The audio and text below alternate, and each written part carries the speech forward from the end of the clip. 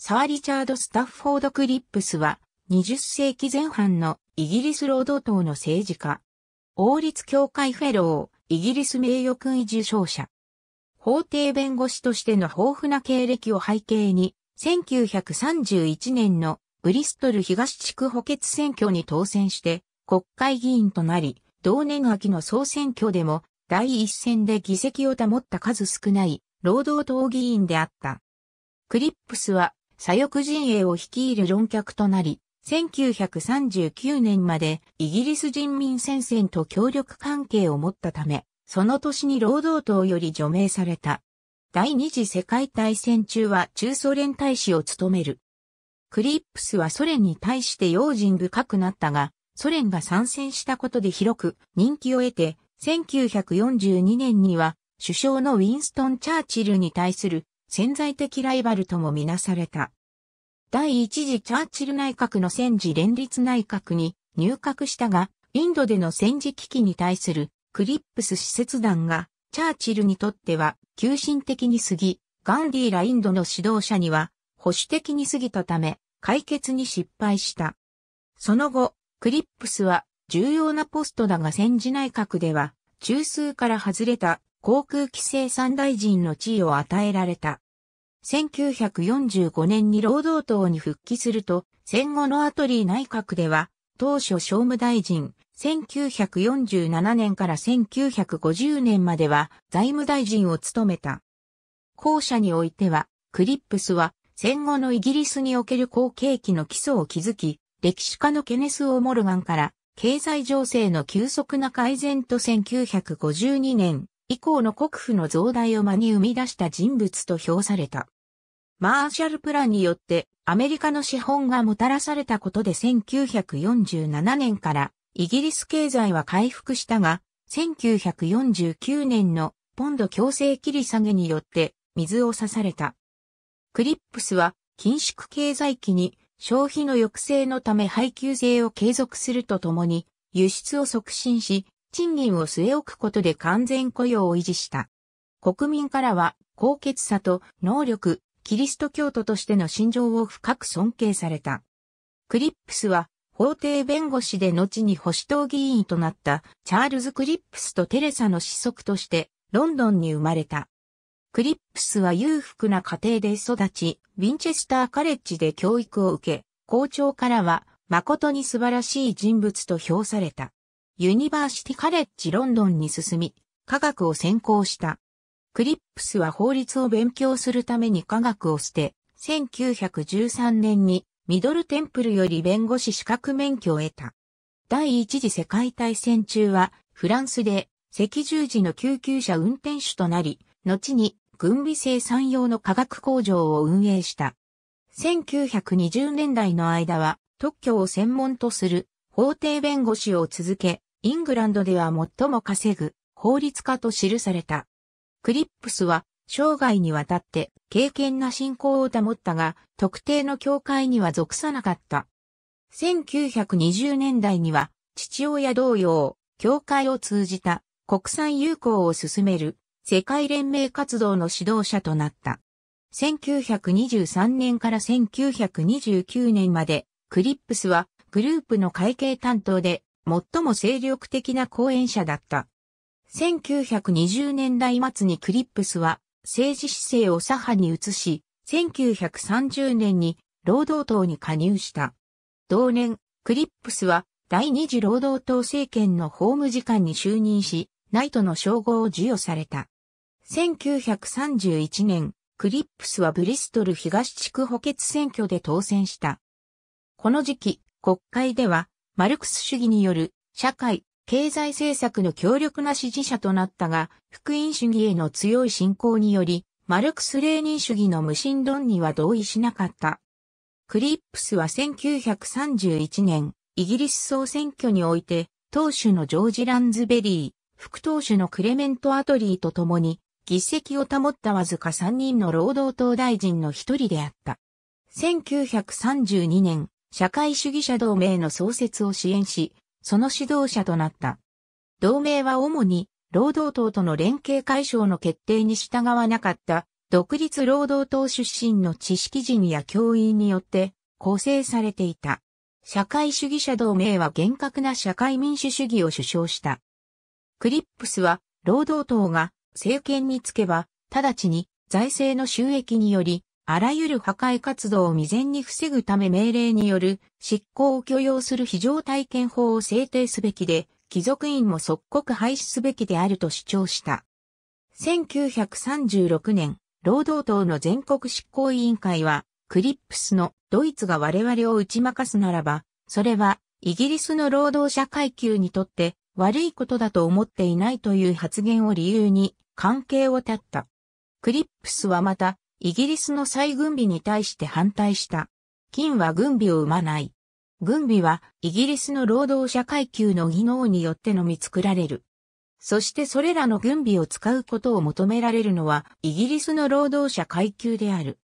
今日、あなた方労働者は権力を得る目的で資本主義の必需品を行使する過去にない絶好の機会を得た。資本家はあなた方の手中にある。軍需品や軍備の製造を拒否すれば、彼らはどうすることもできない。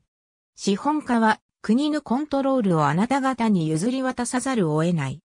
タイムズ P21 クリップスは早い時期からファシズムの脅威が台頭することに対抗するため人民戦線を主張し、ナチスドイツに対する融和政策に反対した。1936年、クリップスは社会主義連盟を巻き込み、右派に対抗するため独立労働党とグレートブリテン共産党との選挙協力による統一キャンペーンを進める原動力となった。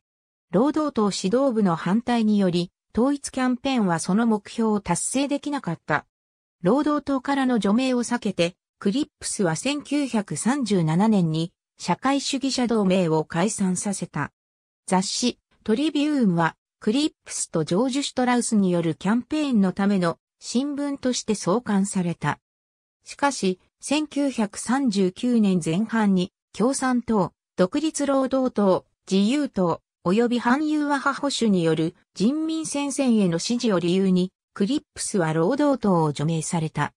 イギリス情報省によって描かれた第二次世界大戦期のクリップスのスケッチウィンストン、チャーチルが1940年に戦時連立政権を組閣した際、チャーチルはクリップスをソビエト連邦大使に任命した。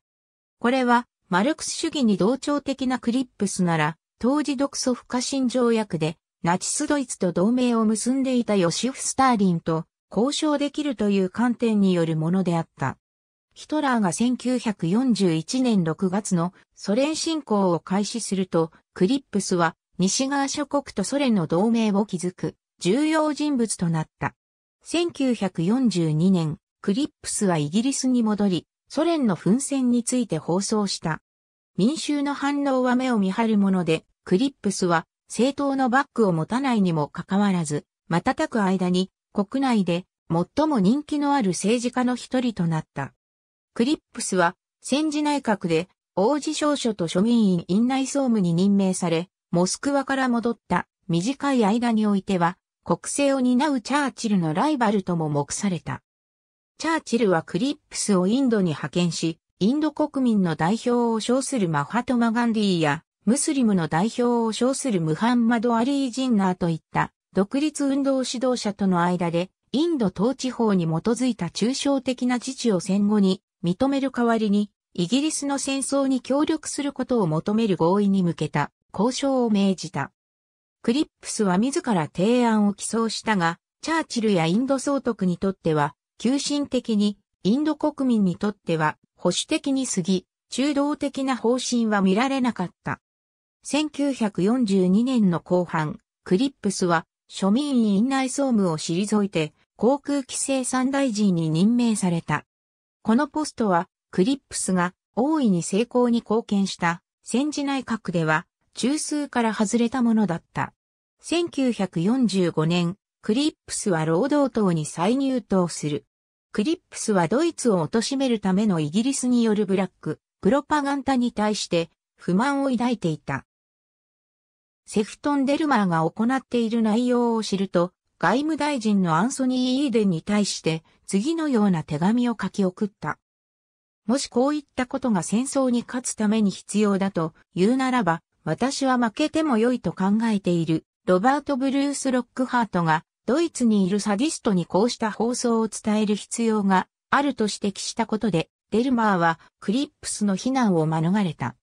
労働党が1945年イギリス総選挙に勝利すると、クレメント・アトリーはクリップスを経済担当としては2番目に重いポストである商務大臣に任命した。クリップスは依然として強固な社会主義者であったが、労働党政権の主流と共に活動できるよう、考え方を十分に改めた。戦後のイギリスにおける危機的な経済状況下で、クリップスは政策を緊縮に結びつけていくようになる。上流階級の社会主義者として、クリップスは禁欲的な社会観を持ち、どの階級に対しても等しく厳しい配給制を実施した。クリップスは何人かの個人と共に、現在のクランフィールド大学となる最初の航空大学を1946年に設立した。大学副総長用の建物はスタッフォードクリップスとして知られる。1946年、ソ連のジェットエンジン設計者がスターリンに対して設計の困難を克服するため、西側からジェットエンジンの設計を購入するよう働きかけた。スターリンは、どこの愚か者が自分の秘密を売るかね、と答えた。しかし、スターリンは提案に同意して、ソ連の科学者と設計者はクリップスに会見するため、イギリスに渡り、エンジンについて要請した。スターリンが驚いたことに、クリップスと労働党政権は、イギリス空軍士官、フランク・ホイットルが設計した遠心圧縮式、ジェットエンジンであるロールスロイスニーンの技術情報をニーンの製造免許を与える議論も含めて完全に提供する用意があった。ニーンエンジンは直ちにリバースエンジニアリングされて、ソ連のクリーモフ VK1 エンジンに姿を変え、後にミグ -15 に搭載された。ミグ -15 は1950年に北朝鮮に展開されて、国連軍の B-29 爆撃機に損害を与え、B-29 が昼間の飛行を取りやめる原因となった。また、1946年にはクリップスは閣僚施設団の一員として再びインドに赴いた。施設団はインドの指導者に対して独立の様々な形態を提案した。施設団の他の二人はインド大臣のパトリック・ローレンス教と海軍教の AAV アレクサンダーだった。三人が作成した閣僚施設団計画として知られる提案はインド国民会議派の主な指導者に満足を与えることはできず、国民会議派は一つの国家を保持する代わりに分割に向かう道をたどっていくことになった。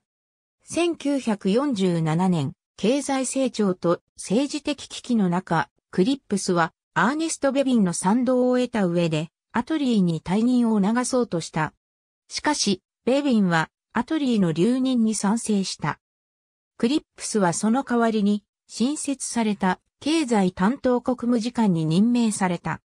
6週間後、ヒューダルトンが財務大臣を辞し、クリップスはその後任となり、現在は首相が兼務する経済担当大臣を兼ねた。クリップスは税収の増大と消費の縮小を推進し、輸出の拡大とスターリングポンドの安定に努めた。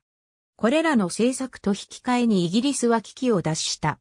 クリップスは石炭や鉄鋼といった主要産業の国有化を強力に推し進めた。1948年から1949年にかけての財政問題にもかかわらず、クリップスは住宅や健康その他の福祉サービスに高いレベルの支出を継続し、その間の産業政策の位置づけも従来通りだった。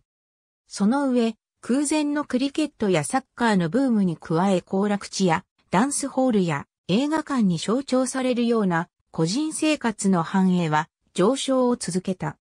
クリップスが大臣として最後に編成した予算では、住宅建設プログラムが年間20万個に戻され、所得税は低所得者層の時間外労働を促進するために減らされた。健康や国民保険、教育への支出は増額された。クリップスの名前は、英国放送協会のアナウンサーであるマクドナルド、ホブレーがサー・スティフォード・クラップスと紹介したことで、悪意ある語音転換に導かれたことがある。クリップスは、ストレスによって腸の下部が炎症を起こした大腸炎に長年にわたって罹患した。1950年に健康状態は悪化し、10月にオフィスを閉じることを余儀なくされた。同月、クリップスは議員を辞職し、11月30日に行われた補欠選挙の結果、ブリストル南東選挙区はトニー・ベンが受け継いだ。クリップスは2年後、癌により死去した。クリップスはベアトリクス・ウェップやキャサリン・コートニーの老いに当たった。母は4歳の時に死去した。継母となったマリアム・エリスはクリップスに大きな影響を与えた。クリップスはデーム・イソベル・クリップスとしてよく知られる、イソベル・クリップスと結婚し、4人の子女を設けた。クリップスは健康的理由から、あるいは倫理的な理由から、菜食主義者であった。クリップスは繰り返し病気を患ったが、それらは自然療法と菜食により軽減された。クリップスはグロスターシャーのサパートンに埋葬され、妻がその傍らに眠る。ありがとうございます。